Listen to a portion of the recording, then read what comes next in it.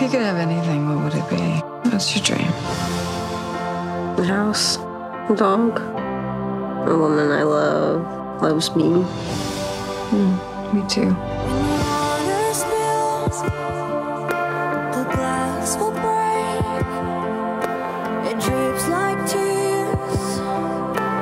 I kind of like the idea of you as a kept woman. My name is Detective Laurel Hester. Recently, I was diagnosed with cancer.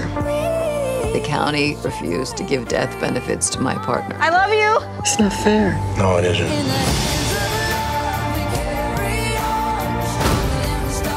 I want to tell you about our house. Just really like to hold on to it. Remember how much we love each other.